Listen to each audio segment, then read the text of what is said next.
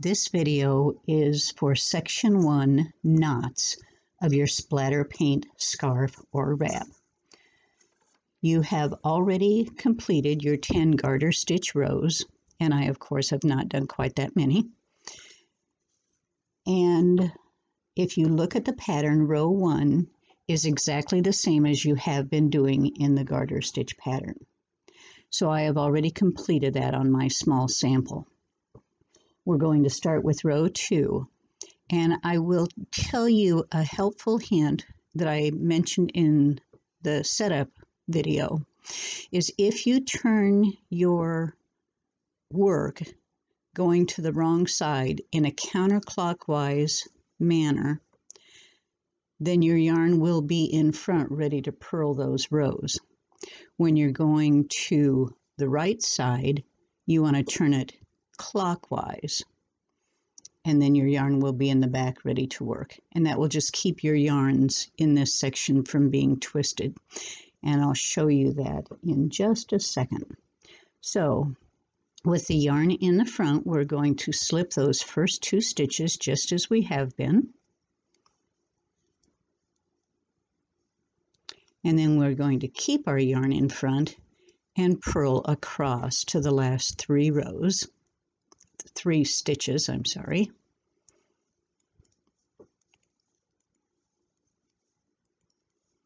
And you come up on your yarn over, and that's where you're going to change. So there's your purl stitches, and then you're going to knit through the back loop, just as we have been with our garter stitch pattern, and then slip those last two stitches with the yarn in front. And since we're ready for a right side row, we're going to turn our work clockwise. Row three says using contrast color, so we're going to bring that in.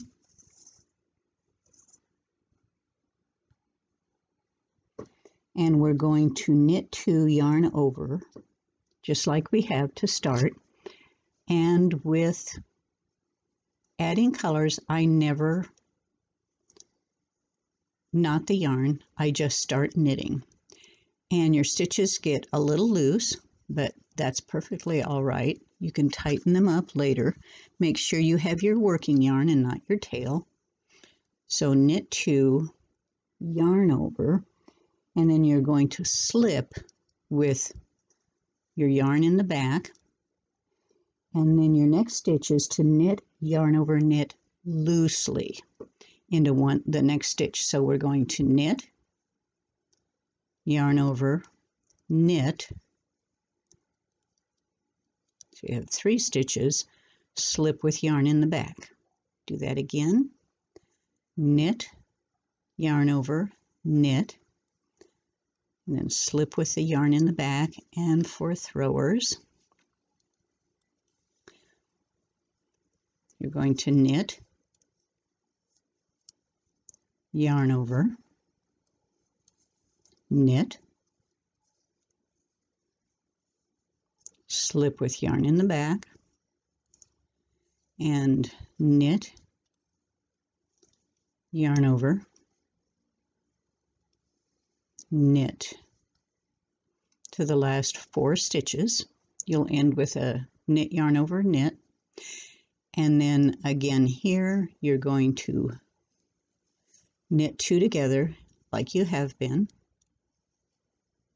and then knit your last two stitches.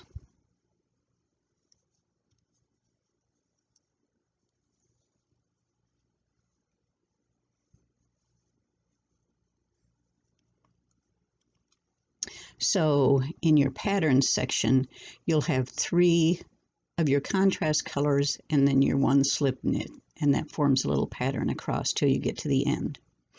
And then as this is loose, we're just going to pull it a little tighter. Now we're going to work row four. It's a wrong side row, so we're going to turn counterclockwise. And for this one, we're going to slip two with the yarn in front. You can just leave it hanging if you want to. And then you're going to knit one. So, oops, I'm doing this for throwers. So move your yarn to the back, knit one, and then we'll start our pattern. And notice the asterisk is where you need to repeat. So we're going to knit three together through the back loop, and this is why you want those to be done loosely. Slip one with the yarn in the back. Knit three together through the back loop.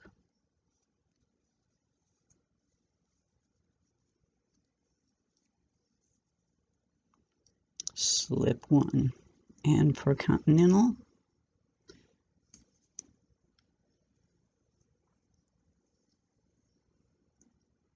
knit three through the back loop, slip one, knit three through the back loop, and you're to your last four stitches. Now this I want you to be careful of because um, on this last slip stitch, this yarn over tends to come across it, so you want to make sure you slip that last slip stitch, and it should be your main color. And then knit through the back loop, bring your yarn forward, and slip those last two stitches. And again, you can tighten that up. Okay, for the right side row, we're going to turn clockwise. And if you'll notice, our yarn, for some reason it's crossed over, but it shouldn't be tangled. I must have started incorrectly. So we'll just slip that over like it's supposed to be. Okay, if you'll remember in the pattern notes, it talked about carrying your yarn, and that's part of the beauty of this pattern. You don't won't have any ends to weave in other than the beginning and the end of each skein. So on page two, page two of your pattern, the third pattern note says before you begin a, begin a right side row, bring the working yarn from the left and underneath the unused yarn. So we're going to start working our five rows, five six rows, I'm sorry, of our garter pattern with our main color. So the contrast will be our unused yarn. The main color is our used yarn. So we simply take that skein, pass it under our unused yarn, our contrast color, and we're ready to begin. So on on the back side, you've got both your strands and the working yarn comes up underneath your contrast color. And then we're going to return and work our garter stitch pattern. And notice that both your yarns are together. They're two stitches in, and that's exactly what you want. So to work our garter stitch pattern, knit one, two, yarn over, and then you're just going to knit across to the last four stitches.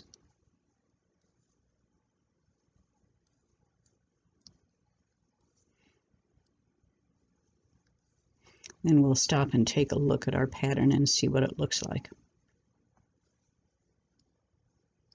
So your last four stitches you will have one of your knot stitches and then your last one. So we're going to knit those two together. Oops. Kind of split my yarn on that. Knit two together and then knit the final two.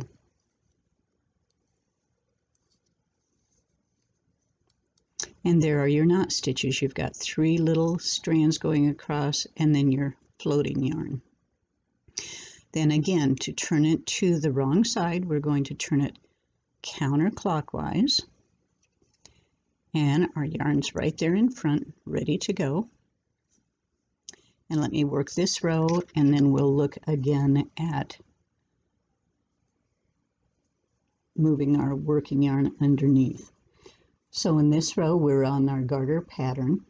We're going to slip two with yarn in front and then knit to the last three rows. This is exactly what we did in the beginning, so this should be quite familiar to you.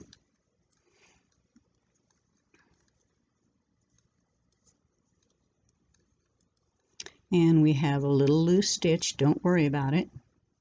We're going to be able to tighten that up here in just a second. And there's our yarn over. We're going to knit through the back and slip these two with the yarn in the front. And we can take our working yarn again and just tighten that up. Okay. So again, we have both our yarns back. We're moving to a right side row, so we turn it clockwise and our yarn is right there in the back ready to go. Okay, we're working again. Notice our yarns are not tangled. So again, we're going to take our main color, since that's going to be our working yarn, we're going to put it under the contrasting color. And again, you're ready to go with your yarn wrapped. And I'll show you in just a second. Let me get a few of these on here and I'll show you what that looks like when you, it doesn't really show on this pattern yet because we don't have enough of it on. But you'll notice you've got a nice edging that kind of curls around on each side that will finish off your scarf quite nicely. And to see what this looks like and to show the beauty of the pattern, I have made my real scarf in nice bright colors because it's a fun scarf. And here we have our knot section completed. And notice we've got our three little collars, the knots, and the floaters going across. And then this is what we're working on right now. This is our six rows of garter stitch. Now, when you're carrying the yarn up, when you pass the working yarn under the contrast yarn, it hides that carried yarn in that little I-cord edging you're making. So you never have to cut that yarn. I have carried mine all the way up into the mesh section and here I am, I've completed the uh, star section and you cannot see the carried yarn, nor can you see it on the front. If I pull this apart, you can see that working yarn. There it is. Let me pull it up a little so you can see it. It kind of blends in color-wise, but there's that working yarn being carried up. But when I put it back, it totally disappeared. So when you finish this scarf, you will have the beginning of your main color to weave in, the beginning of your contrast color, and then the end of both yarns, and you won't have anything to weave in on each of the sections. So that's very nice. Plus, it gives you a very nice edging for your completed scarf. I hope that makes sense to you. Happy knitting!